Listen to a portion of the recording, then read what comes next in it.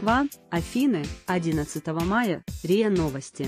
Правоохранительные органы России возбудили уголовное дело по заявлениям специалиста в области информационных технологий Александра Винника, который был арестован в Греции по запросу США. Об этом РИА Новости сообщил источник, знакомый с делом. Винник написал несколько заявлений в правоохранительные органы России о преступлениях в сфере финансовых технологий. Следственный департамент МВД России возбудил уголовное дело в отношении неустановленных лиц, сказал собеседник агентства уточнив, что процессуального статуса у Винника нет.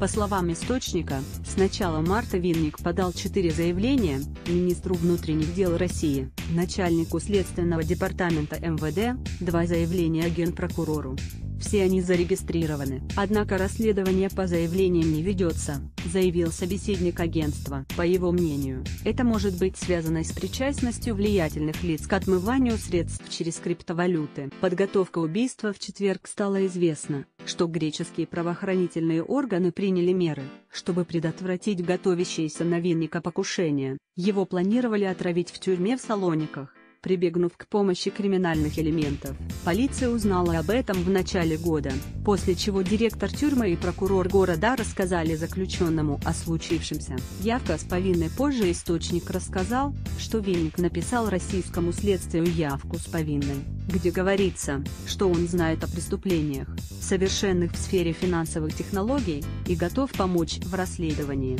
По словам собеседника агентства, речь может идти об очень крупных суммах.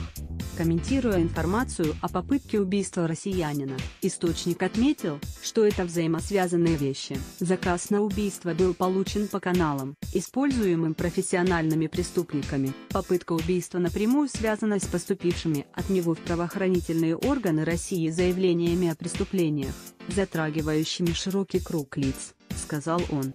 Дело Винника Александра Винника задержали в Греции в июле прошлого года по запросу американских спецслужб. Вашингтон обвиняет россиянина в отмывании от 4 до 9 миллиардов долларов через биржу криптовалют BTC. Ему грозит 55 лет тюрьмы. Винник вину не признает и называет дело провокацией США. Адвокаты говорят об отсутствии состава преступления.